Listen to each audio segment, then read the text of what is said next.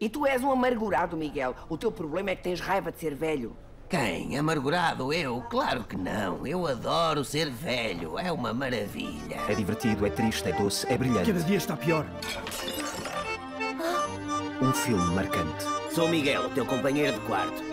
Eu chamo-me Emílio. Nada, nada, eu estou bem. Pertinente, divertido, sensível e comovente. Não é verdade, mentiroso. Não tentes confundir-me. Com vozes de Custódia Galego e Rui Mendes.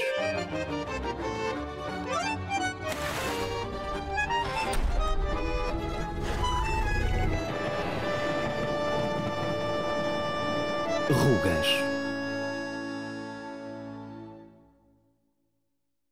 Guardam aqui as drogas com que nos mantêm sedados. Miguel, mas que mauzinho.